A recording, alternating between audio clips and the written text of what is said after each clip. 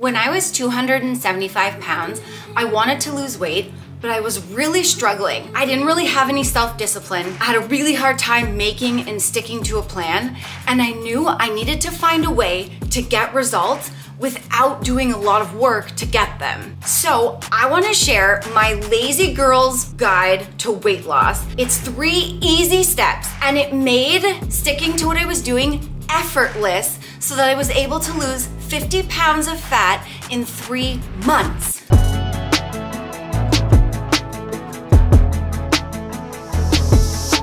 Remember the friends, I am not a doctor. I'm just a me who lost a lot of weight. I have no papers. I'm not a professional. Don't listen to me. This is just my experience and my opinion and what works for me, honey. So the world might call this lazy. Kyle and I, my husband, we've lost the same amount of weight, kept it off for over nine years now. We like to call this efficient. We've learned you work smarter, not harder, meaning we like to maximize the results and minimize the amount of effort that you have to put in to get the results. Number one, don't waste too much time on exercise. Diet is the key. I can't tell you how many years and how much time I wasted on thinking that exercise was gonna help me lose the weight. The thing is, you can out train a bad diet. Getting your diet in check is like 95% of what's gonna get you the weight loss results. You have to be in a calorie deficit to lose weight. That's the only rule. Meaning you need to consume less calories than you burn. You have to get your diet in check first, and then the exercise becomes the cherry on the cake. Now you're not like wasting all this time putting into exercise. You can now focus on what actually matters. Kyle and I did this the lazy way right away. We tried so many different things and it just caused us to be overwhelmed and then we would just chuck our diets out the window. So when we started what actually worked, we didn't change anything that we were eating. Instead, we started portioning it out. So for example, we were eating a bag of chips, a family size bag of chips, every single night for a snack each. Instead of giving up the chips or like changing, we just shared the bag and split it into a bowl. So this is literally the size of bowl that we ate and the bag of chips divided into two equal bowls like that. So we were automatically eating less calories. We were going in a calorie deficit without changing what we were eating, just eating a bit less. And this is obviously a decent sized portion, so that really helped. We both had emotional eating really bad any sort of number counting, number tracking, calorie counting, we couldn't do it. It triggered our emotional eating. So the easiest way to start portioning food was literally on the backs of packages. There's a serving size. So um, half a cup is a serving size of oats. So we literally started using the backs of packages. No thinking oh, that's the serving. And we started making a meal plan using the serving sizes on packages. We'd weigh ourselves at the end of the week. If we lost weight, we knew those serving sizes were good. If we didn't lose weight or we gained weight, we knew to pull back just a little bit because we didn't want to take away too much because that just caused us to fail in the past. The other thing that's like a super lazy way to do something to get in a calorie deficit without even thinking, we literally just switched from what we were eating the regular version to the low cal version. So for example, like I tell this story all the time. I was drinking seven regular cans of Dr. Pepper every single day. That's almost a thousand calories in liquid. But I wasn't ready to give it up and I wasn't ready to eliminate some of the cans. So I literally just switched from regular pop to diet pop. I saved myself almost a thousand calories a day. I still was drinking seven cans of pop, but it was diet. So I still got the pop, but I was in a calorie deficit because I was consuming less calories without feeling like I was giving anything up. So that's what we mean by lazy, working smarter, not harder. We're in calorie deficits without really giving up any of our foods. The only things we were changing was how much we were eating and then like choosing the low calorie version was saving us calories and we were still eating the foods that we loved. We didn't buy any special food. We tried all that in the past. all it did was waste time and money, like getting the food, money buying special food, and we couldn't stick to it. Buying food that we liked, like the chips, and dividing it in a portion. Or um, Kyle and I love like pizza, french fries. So we still like went and bought that stuff, but we chose lower calorie versions at the grocery store and stuff. And um, we just went to like Walmart, just where we could afford it, and just bought regular food and just portioned it out. Number two. The second step is to always have no cook food options on hand, like at all times. Always have things in the house that require no cooking at all. Maybe a microwave, but that's it because you're gonna have days where you don't wanna do the meal prep. You don't have time. You're really hungry and you forgot to prep your meal and you need food now or you're gonna go off track. So it's really important to have those things. Kyle and I tried the hours of complicated long meal preps and it really by you know after a few months of doing it we were like this is not sustainable. We won't, we don't want to do this for yeah, the rest of our lives. You kind of want to remove all the excuses that yes. you're gonna have um, to stop your weight loss journey. Kind of want to take those out because me and Nicole have been doing this ten years. Yes. To do long, complicated meal preps for a decade straight, it's not sustainable. No, and like these things that we're sharing with you, these easy steps, they didn't just help us lose 50 pounds in three months. We both went on to lose a total of 130 pounds each, and we've kept it off for over nine years now. We learned that like there's no ROI in cooking. We do much better because we love super tasty food, but we don't love doing long cooking meal preps. So we need something tasty, low calorie, that's gonna keep us full, but that we can make really quick. So no cook options, like we love these lean turkey pepperonis. These ones are from Costco, they're the Grimm's. They don't taste like turkey at all if you're like, you haven't tried these before. And look at 50 calories a stick, six grams of protein a stick, and we travel with these. If we're going out like doing grocery shopping or errands or traveling somewhere out and about, like we bring these. Super portable, no cook, great snack, great for a meal. We've put these on low calorie pizza, like they're very versatile. Lunch meat, more no cook options. As you can see, we always are using it. Pepperoni is 50 calories a slice or 150 for three. This is 70 calories for two ham slices. This is the Costco one. That's from Walmart. Other great no-cook options, cottage cheese, plain Greek yogurt we always show you guys, has tons of protein in it. We get the fat-free and flavor it ourselves because the flavored kind, like it's tasty, but it does have more calories, so we like to do the plain and flavor it ourselves. No cook option. You're not gonna believe this. Egg whites are pasteurized. You don't have to cook them.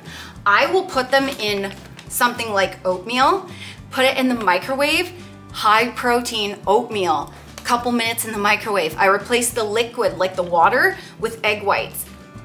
Whoa. Want to make it double high protein? We add protein powder. Yes, um, we add protein powder. And also, um, I talk about my protein ice cream a lot on the channel. I did just show it in a full day of, uh, of eating a couple of full days of eating ago. There's also a short on our channel called I Eat This Every Day Instead of Ice Cream. So you can get the recipe there. We use this protein powder to put into our oatmeal, put into our protein ice cream. This is the HTLT Supps Casein Whey Protein maple cookie. Literally the best tasting protein powder and I love the maple cookie because it's really versatile. We put it in Greek yogurt, make a low-cal high protein fruit dip, in oatmeal, put it in uh, with this in our protein ice cream like I said. Code Nicole will save you 15% off and the link is down below for this. We love like the rotisserie chicken from Costco. It's super cheap. It's like the cheapest rotisserie chicken you can get. And if you portion it, it will last a long time. Like Kyle and I can eat off of that for almost a whole week without cooking. Uncle Ben's Bistro Express rice, 90 seconds in the microwave. We always have these kinds of things on hand. Low calorie soup that has decent protein in it, canned soup. Anything where because like most of you guys, we're really busy. We also don't love doing work. We like spending time together and not spending it cooking or doing a lot of work to get the results. I did lose the weight with portion control, like I said. If you wanna know the exact meals and portions that I ate to lose the weight, you can buy my weight loss ebook called The First 50. Links down below and code Nicole will save you 10%. I also have an everything bundle because I have four ebooks actually. If you buy all four at once in the everything bundle, you save money, then use my code and get a double savings. And the link's down below for that too. Number three, the third easy step is prioritize low calorie protein and fiber because just by adding protein and fiber into every single meal, they both help you feel fuller longer. Fiber's slow digesting, so it helps you feel fuller longer. Protein lowers your hunger hormone, ghrelin, and again, helps you feel fuller longer. So by putting that at every meal, you're automatically gonna get fuller quicker and for longer, and you're gonna be less likely to overeat by making your base some sort of protein. Also, you don't have to put a lot of effort because if you automatically make a meal plan, you put protein and fiber at every meal and you make those your bases, like lean protein, rotisserie chicken, like I said, that's one of your meals. You don't have to think. You already know, okay, I have protein. Now I'll just add a few things and make a great meal. So speaking of prioritizing protein, like I've already showed you some, um, this is protein milk. This is just becoming like a popular thing everywhere and Kyle and I wish that this would have been around when we first started our weight loss journey because this stuff is amazing. There is Fairlife, which is 80 calories a cup if you get the 0%. Walmart was out or we would have had the Fairlife, but this stuff's yes. pretty good too. Yes, exactly. This stuff is really good. A cup is um, 100 calories and the protein milks, the Fairlife and this one, both have 14 grams of protein. And I believe regular milk if you do like the 2%, it's 130 calories a cup and only like 9 grams of protein. So this is low cal plus extra protein and we use this in everything.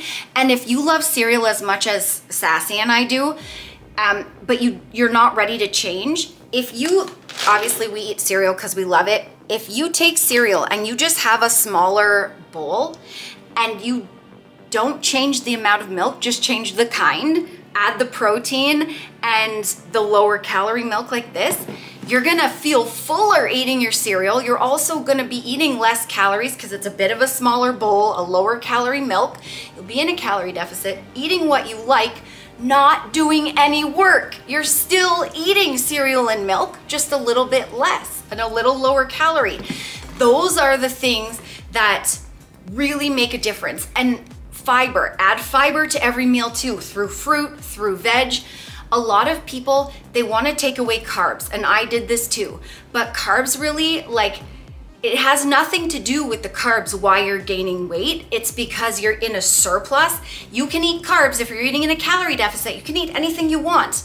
Cereal, pizza, we ate all of that the whole time we were losing weight. It's about how much, not what kind of food you're eating. Add fiber, wheat whole grain toast.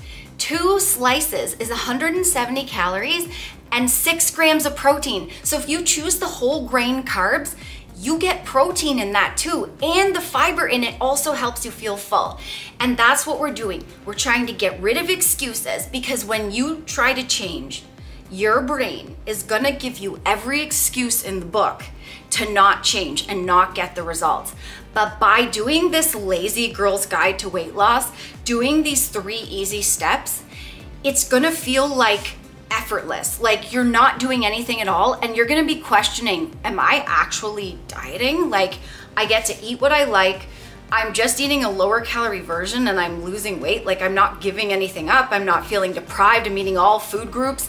We were shocked. Like we ate a portion of low calorie ice cream and a two low cal cookies pretty much every night when we were losing weight in the beginning.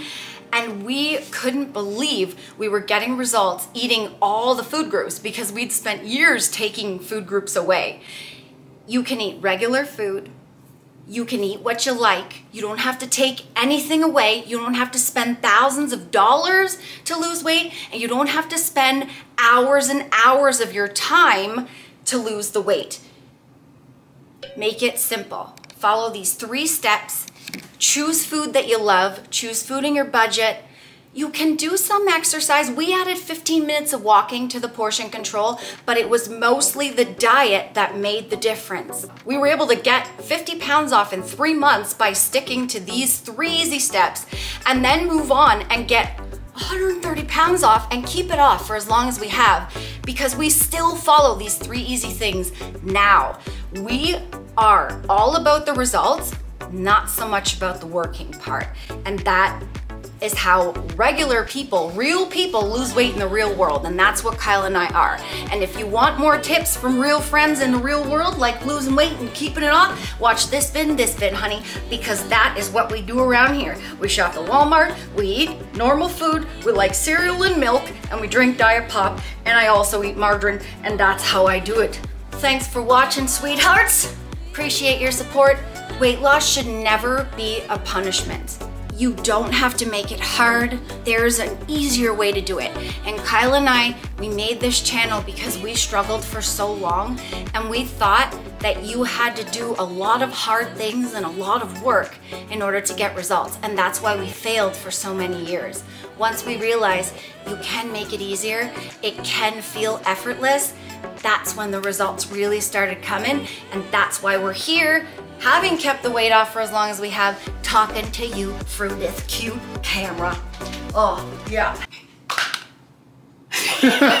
Remember the friends that weight loss isn't just about the number on the scale. It's also about here and here. Heart and mindset. Fight through it. You can do it. Don't give up.